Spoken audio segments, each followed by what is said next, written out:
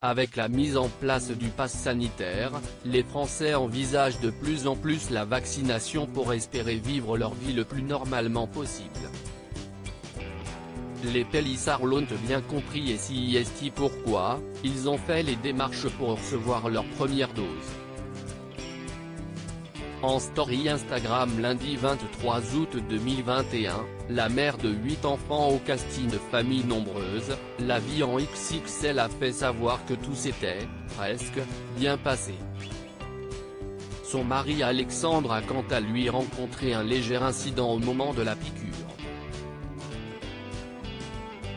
Quand j'ai fait ma première dose, j'avais pris rendez-vous le lendemain pour Alexandre et Léo, son fils aîné, note de la rédaction, et en fait, Alex s'est dégonflé.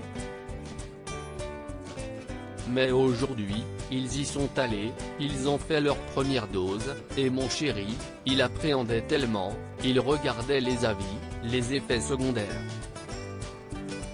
Il a fait que ça pendant des jours et des jours, à tel point qu'il ne dormait plus, il devenait fou et puis du coup il a fini sur un brancard, tout blanc, avec son jus d'orange, non même pas de jus d'orange, juste un verre d'eau, a-t-elle confié sans se retenir de rigoler. Heureusement, plus de peur que de mal pour Alexandre qui a simplement eu une montée de stress, de trouille.